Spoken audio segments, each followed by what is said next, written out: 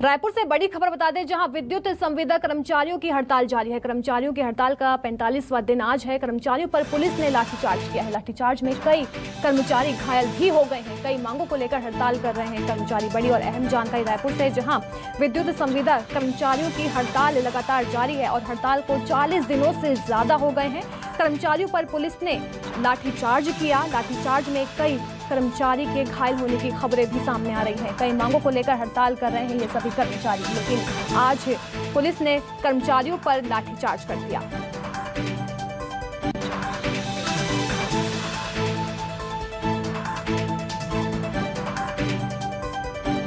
मेरे सहयोगी सत्या राजपूत हमारे साथ लाइव जुड़ गए हैं। सत्या, आखिर क्या वजह निकलकर सामने आ रही जिसके चलते पुलिस ने आज कर्मचारियों पर लाठीचार्ज किया है?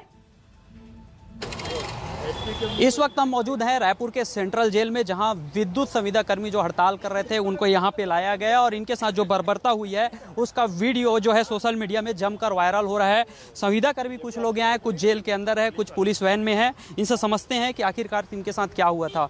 पूरी घटना आप बताइए, क्या हुआ था आपके साथ? हमने सिर्फ़ न्याय के लिए गुहार लगा रहे हैं। हम पिछले छियालीस दिन से यहाँ पर बैठे और बाईस दिन से कार्य बहिष्कार हैं। हमारे परिवार जो है भूखे प्यासे हैं तो हमने दरख्वास्त किया पुलिस प्रशासन से और जिला प्रशासन से कि हमको सीएम से मिलने का मौका दिया जाए। हमें बार बार आश्वासन बस दिया जाता है सीएम के वो का क्या हुआ था? कल क्या हुआ था? हमने बस टाइम मांगा था। उसके बाद सुबह उन्होंने बेरियार सर थे उन्होंने बड़ा प्यार से बोला कि आपको साढ़े दस तक हम सीएम से के प्रतिनिधि से मिला देंगे। उसके बाद अचानक उन्होंने फोर्स बुला लिए और ऐसे क्रूरता से हम हम पर हमला किया जानो मानो हम जानवर हैं।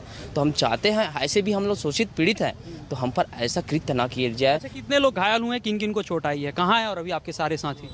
लगभग 20 से 25 लोगों के चोटिल हुए हैं। अभी भी वो लापता है क्योंकि इतनी बर्बरता अपनाई गई पुलिस द्वारा गली गली में रोड में दौड़ा के उनके ऊपर बर्बरता अपनाई गई है कि अभी भी उनको पता नहीं चल पा रहा है कहाँ कहाँ पे है।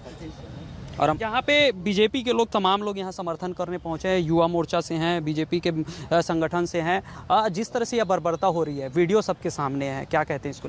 देखिए मुझे ऐसा लगता है कि जो आज शासन ने बर्बरता यहाँ पर दिखाई है ऐसा लग रहा है मानो इस हिंदुस्तान के अंदर में बाबर शासन आ गया हो। अभिव्यक्ति की स्वतंत्रता आज़ादी की बात जो अपने अधिकारों को लेकर नियमानुसार आंदोलन कर रहे हैं और लगातार ये मांग कर रहे हैं कि मुख्यमंत्री जी से हमको अपनी बातों को रखना है। मुख्यमंत्री जिसको संज्ञान में नहीं ले रहे हैं, बुलावा नहीं कर रहे हैं, धोखे में रखकर इनके ऊपर लाठीचार्ज करके कुछ लोगों को अस्पताल, कुछ लोगों को जेल परिसर के अंदर में कर रहे हैं। अर्थात अपनी कमी को छिपाने के लिए, जिस तरीके से अभिव्यक्ति को दबाने का प्रयास ये सरकार कर रही है, मुझे लगता है इससे बड़ा दमनात्मक काम हो नहीं सकता। ये सभी युवा वर्ग हैं, विद्युत संविदा कर्मचारी।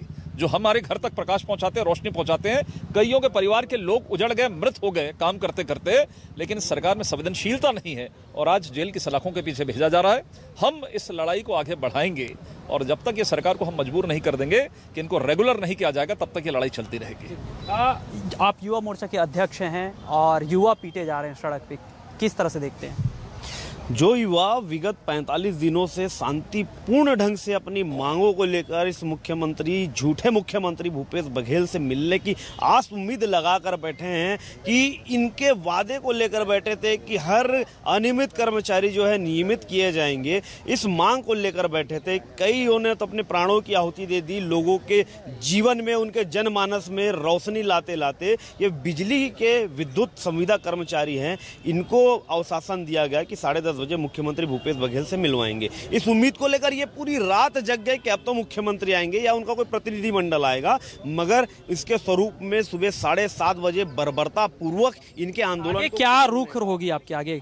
देखिए, विद्युत कर्मचारी के साथ पूरा का पूरा भारतीय जनता युवा मोर्चा छत्तीसगढ़ खड़ा है। जैसा ये आंदोलन चाहेंगे, उनके साथ कंधे से कंधा मिलाकर इस सरकार के खिलाफ भारतीय जनता युवा मोर्चा विद्युत कर्मचारियों के संग खड़े रहेगा। तो देखिए, बातचीत से स्पष्ट है कि आंदोलन को जितने दबाने की कोशिश की जा रही है, उतने तेज़ी से ये जो है कर्मचारी हैं आगे की ओर बढ़ रहे हैं, आंदोलन को तेज कर रहे हैं और यहाँ पे जो बीजेपी का भरपूर यहाँ पे समर्थन मिल रहा है और जो वीडियो वायरल हो रही है, जो इनके साथ अत्याचार की बात कही जा रही है, उसका घोर विरोध किया जा रहा है। अब देखना यही होगा कि आगे पुलिस के और क्या रणनीति होती है और जो है प्रदर्शनकारी हैं, वो अपनी क्या आगे की रणनीति बनाते हैं।